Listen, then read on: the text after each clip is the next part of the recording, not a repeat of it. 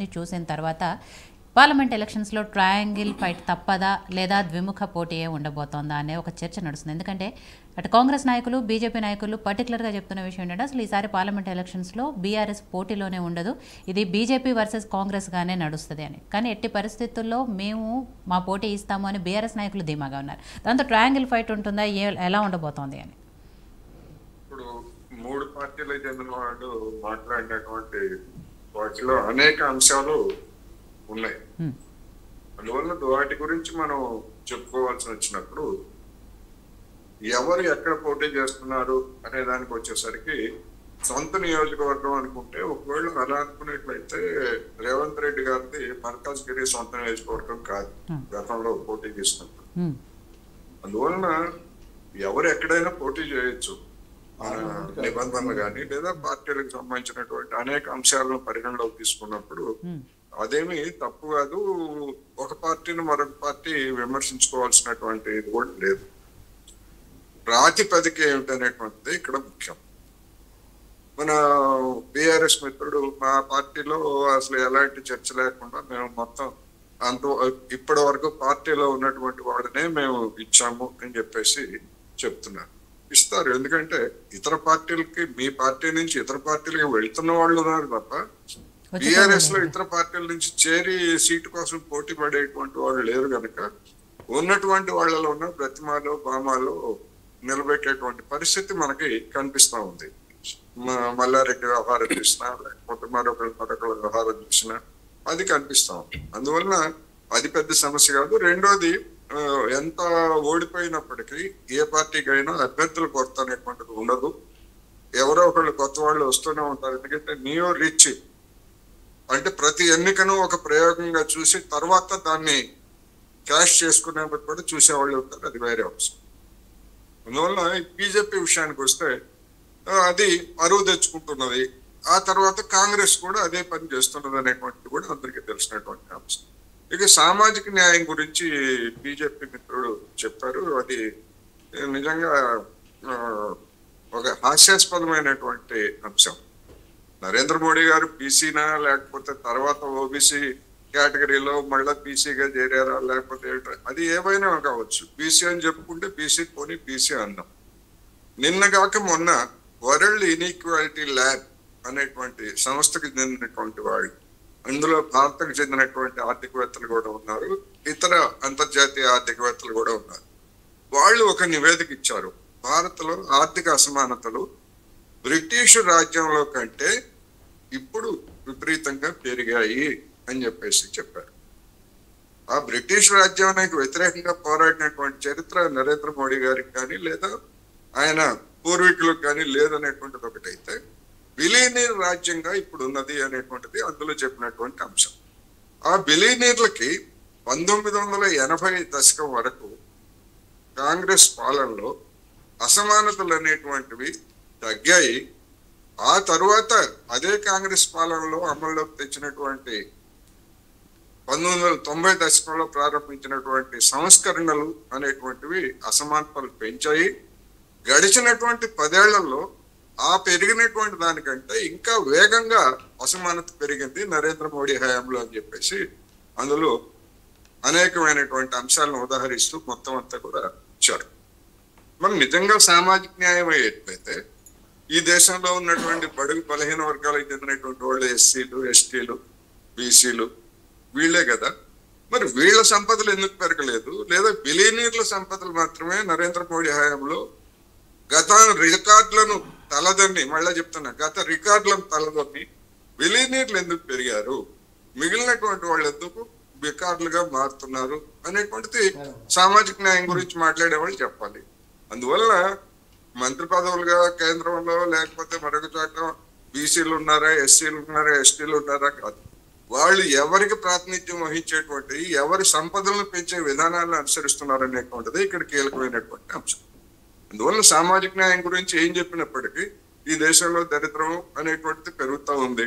అంకెల్లో చెప్పుకోవచ్చు మేము ఇంతమందిని ఇరవై కోట్ల మందిని మేము దారిద్ర్యం నుంచి బయటపడేసామని చెప్తున్నారు. ఇరవై కోట్ల మంది దారిద్ర్యం నుంచి బయటపడేస్తే మరి వాళ్ళకి ఉచితంగా ఆహార ధాన్యాలు ఇవ్వాల్సినటువంటి అవసరం ఏముంది? ఎందుకు ఇస్తున్నారు? ఐదు సంవత్సరాల పాటు రాబోయే ఐదు సంవత్సరాలు కూడా ఇస్తామని చెప్పారు అంటున్నారు అంటే ఏంటి మీరు ఐదు సంవత్సరాల పాటు ప్రతి మనిషికి ఎనభై కోట్ల మందికి ఐదు కిలోలు చొప్పున భిక్ష వేస్తామని చెప్పి చెప్తున్నారు. అంతే తప్ప భిక్ష గురించి మీరు గ్యారంటీ ఇస్తున్నారు తప్ప ఆత్మగౌరవంతో బతకడానికి అవసరమైనటువంటి ఉపాధి గ్యారంటీ ఎక్కడ నరేంద్ర మోడీ గారి మాట నుంచి రావట్లే. ఒప్పుకుందాం. నరేంద్ర మోడీ గారు అంటే ప్రధాని కనుక గ్యారంటీ అంటే ప్రభుత్వ గ్యారంటీ అనే ఒప్పుకుందాం. ఎందుకని? రైతులకి కనీస మద్దతు ధర గ్యారంటీ అని కానీ లేకపోతే ఉపాధి గ్యారంటీ అని కానీ ధరలు తగ్గింపు గ్యారంటీ అని కానీ అత్యధిన గ్యారంటీ అనేటువంటి పదాలు నరేంద్ర మోడీ గారి నోట ఎందుకు రావట్లేదు అనేటువంటి ప్రశ్న. అందువల్ల ఇది సామాజిక న్యాయం చూసేటువంటి వాళ్ళందరికీ కూడా అందరికీ అర్థమవుతోంది అసమానతలు అనేటువంటివి విపరీతంగా పెరుగుతున్నాయి. రాబోయే రోజుల్లో ఇంకా పెరుగుతాయి. ఈ విపరీతంగా పెరిగినటువంటి అసమానతలు సామాజిక అశాంతికి దారి తీసేటువంటి అవకాశం ఉన్నది. అటువంటి సామాజిక అశాంతిని పక్కదారి పట్టించడానికి మతాన్ని మతాన్ని గత పది సంవత్సరాలుగా మతాన్ని ముందుకు తీసుకొస్తున్నారు అనేటువంటిది కూడా మరొక వైపు నుంచి మనకి కనిపిస్తుంది. ఇక రాష్ట్రంలో ఎన్నికలు లేదా బలాబలాలు వీటికి సంబంధించి దాదాపు అభ్యర్థులు అందరూ ఖరారయ్యారు. కాంగ్రెస్ అభ్యర్థులు కూడా మిగిలినటువంటి వాళ్ళని కూడా ఇవాళ రేపు ప్రకటిస్తారు. అది పెద్ద సమస్య కాదు. పోటీ ఎవరి మధ్య ఉంటుంది అన్న దాని ప్రకారం చూస్తే అసెంబ్లీ ఎన్నికల లెక్కల ప్రకారం చూసేట్లయితే కాంగ్రెస్ బిఆర్ఎస్ మూడో పక్షంగా బీజేపీ. బీజేపీ వాళ్ళు ఏం చెప్తారు? ఇది లోక్సభ ఎన్నికలు కనుక నరేంద్ర మోడీ గారు చూసి ఓటేస్తారంట. ఏ ఓటేస్తారు పద్నాలుగు శాతంగా వచ్చినటువంటి ఓట్లు ఇరవై శాతానికి పెరుగుతాయి అనుకుంది. ఆ మేరకు ఎవరికి తగ్గుతాయి? ఎవరికి తగ్గుతాయి అనేటువంటిది సరే వాళ్ళే చెప్పాలి. కాంగ్రెస్ వాళ్ళకి తగ్గొచ్చు అని చెప్పొచ్చు బీఆర్ బీఆర్ఎస్ వాళ్ళకి తగ్గొచ్చు అని చెప్పొచ్చు. ఇరవై శాతం ఓట్లతోటి మెజారిటీ సీట్లని ఎక్కడైనా ఏ రాష్ట్రంలో అయినా సంపాదించుకున్నటువంటి పార్టీ మన పార్లమెంటరీ ఎన్నికల వ్యవస్థలో ఎక్కడన్నా ఉన్నదా? అంటే లేదు అనేటువంటిది నిర్దిష్టంగా నేను చెప్తున్నాను ఇరవై శాతం ఓట్లతో ముప్పై ఐదు శాతం ఓట్లు నలభై శాతం ఓట్లతోటి ఎందుకంటే ప్రతిపక్షాలు చీలి ఉన్నప్పుడు మైనారిటీ ఓట్లతోటి అత్యధికమైనటువంటి స్థానాలు పొందినటువంటి చరిత్ర ఉంది. దానికి ఉదాహరణ నరేంద్ర మోడీ గారి. ఆయన బీజేపీకి వచ్చినటువంటి ఓట్ల శాతం అంతా రెండు వేల పంతొమ్మిదిలో వచ్చినటువంటి ఓట్ల శాతం అంతా రెండు వేల పద్నాలుగులో వచ్చినటువంటి ఓట్ల శాతం అంతా కానీ సీట్లు ఎన్ని వచ్చాయి? అనేటువంటి చూసుకున్నప్పుడు మైనారిటీ ఓట్లతోటి అత్యధికమైనటువంటి సీట్లు గెలుచుకున్నటువంటి రికార్డు నరేంద్ర మోడీ గారికి ఉన్నది. గతంలో కాంగ్రెస్ కూడా అట్లాగే ఉంది. అందువలన ఇవాళ తెలంగాణలో ఉన్నటువంటి ఓట్ల తీరుతెన్నులు పార్టీల బలబలాల తీరుతెన్నులు చూసినప్పుడు నలభై శాతం ఓట్లు తెచ్చుకున్నటువంటి కాంగ్రెస్ ఆ తర్వాత వివిధ పార్టీల నుంచి ముఖ్యంగా బీఆర్ఎస్ నుంచి చేరుతున్నటువంటి ప్రజాప్రతినిధులు కావచ్చు లేదా ఆ పార్టీ అమల్లోకి తెచ్చినటువంటి కొన్ని సంక్షేమ పథకాలు ఇంకా తెస్తారు అని ఆశిస్తున్నటువంటి సంక్షేమ పథకాల కారణంగా అదనంగా ఓటర్లు కాంగ్రెస్ వైపు మొగ్గేటువంటి అవకాశం ఉంది తప్ప బీజేపీ బీఆర్ఎస్ వైపు మొగ్గేటువంటి పరిస్థితులు ఇవాళ లేవు. అందువలన ఆ విధంగా చూస్తున్నప్పుడు కాంగ్రెస్ తన ఓటు శాతాన్ని ఇంకా పెంచుకునే కొద్దీ దాని యొక్క విజయ శాతాన్ని కూడా అంటే లోక్సభ సీట్ల శాతాన్ని కూడా గతంతో పోల్చుకుంటే ఇంకా ఎక్కువ తెచ్చుకునేటువంటి అవకాశం ఉందనేటువంటి గణాంకాలు చెప్తున్నటువంటి అంకెలు. అలా కాదు కేసీఆర్ చెప్పినట్టు అసెంబ్లీ ఎన్నికల్లో జనం తప్పు చేశారని భావిస్తున్నారు. అందుకని తిరిగి మాకు ఓటేస్తారని బీఆర్ఎస్ నాయకులు లేదా కేసీఆర్ చెప్పుకోవచ్చు. లేదు మా నరేంద్ర మోడీని చూసి ఓ జనం మాకు ఓట్లేస్తారని చెప్పేసి చెప్పుకోవచ్చు. కానీ ఎక్కడ అలాంటి పరిస్థితి ఎక్కడా లేదు. ఏదన్నా ఒక శాతం అర శాతం అది కూడా ఆయా సందర్భాల్లో ముందుకు వచ్చినటువంటి మనోభావాలు. వాటి కారణంగా ఒక అర శాతం అటు ఇటు ఉండొచ్చు తప్ప తెలంగాణ విషయానికి వస్తే అటువంటి పరిస్థితి లేదు అనేటువంటిది నా నిశ్చితమైనటువంటి అభిప్రాయం. అత్యధికమైనటువంటి సీట్లు కాంగ్రెస్ గెలుచుకోవడానికి అవకాశం ఉన్నది.